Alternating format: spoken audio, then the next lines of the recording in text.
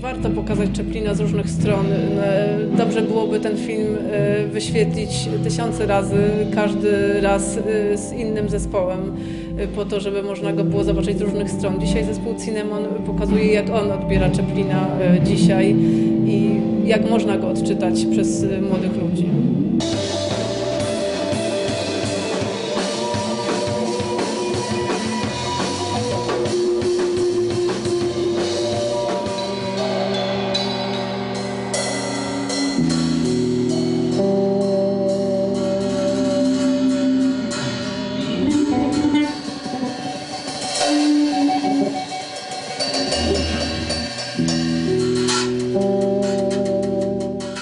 Znaczy tak naprawdę w, w większej części to, co się tutaj dzisiaj działo, było improwizacją. W, oglądaliśmy ten film raz w całości tak naprawdę Em, i, i próbowaliśmy e, tak naprawdę przedstawić e, muzycznie to, co się działo w nas e, dzisiaj e, i konkretnie tutaj podczas tego spek- spektaklu. Dobry podkład muzyczny harmonizował z treścią fabuły, którą myśmy oglądali. Taki- Klimat był. Klimat był bardzo dobry i, i w sumie no, ani szeptów, ani nie, nic nie zakłócało harmonii, mimo że to był film mimiczny, prawda? Także bardzo, bardzo nam się podobał.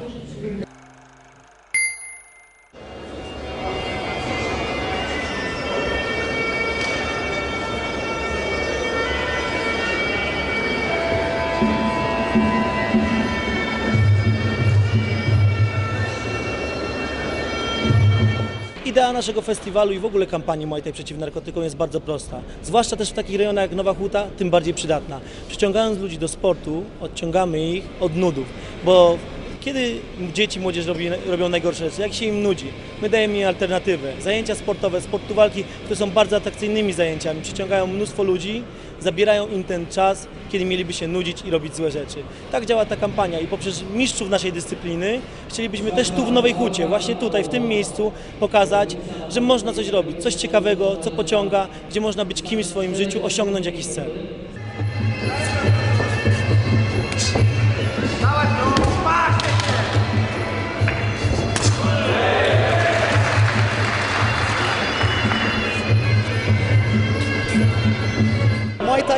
Sport walki, e, sport walki na ringu. E, Jest to sport uderzany, tylko w stójce. Zawodnicy mogą wykonywać techniki bokserskie, mogą kopać, mogą uderzać łokciem i kolanem. Jest to bardzo widowiskowy sport, zresztą wystarczy zobaczyć na publiczność, która zawsze, e, zawsze dopisuje. Mężczyźni dają z siebie wszystko, co jest tylko możliwe. Walczą całym sercem.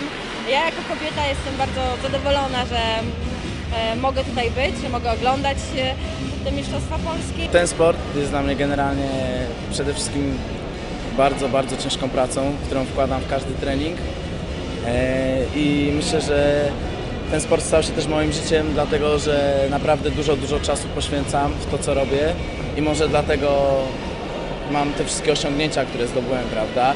Swoją ciężką pracą, przełamywaniem pewnych granic wytrzymałości na treningach, kiedy już myślę, że nie mogę, a jednak jeszcze troszeczkę daję radę.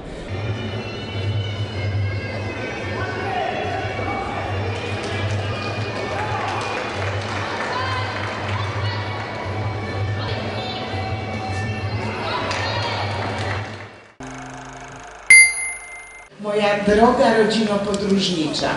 Kiedyś jeździliśmy tam tylko my z mężem po tym świecie, żeby go dla Państwa otworzyć. Naprawdę, gdyby nie Wy, to byśmy nie zobaczyli go tak jak należy. Ale teraz ten świat się otworzył.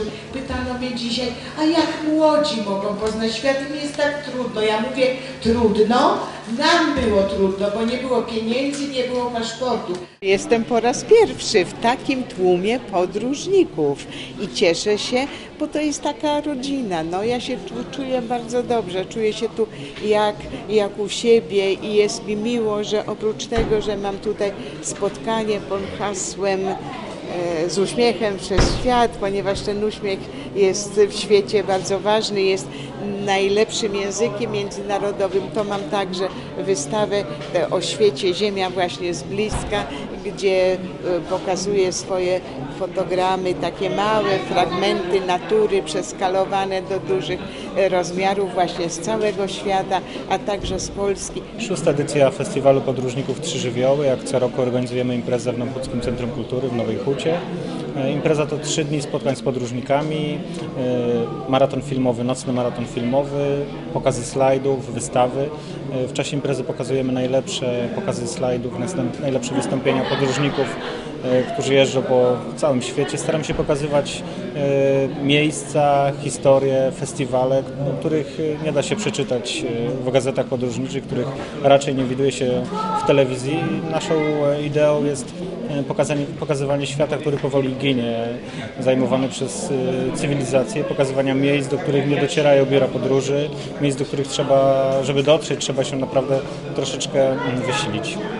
Podróżowanie to jest przede wszystkim wielka niewiadoma, wielka niewiadoma terenów, ludzi, pogody, y, sprzętu, który mamy ze sobą. Po prostu wielka przygoda, która ma w sobie tyle emocji, że warta jest podjęcia po prostu wysiłku, próby, przygotowań, no i już samej realizacji.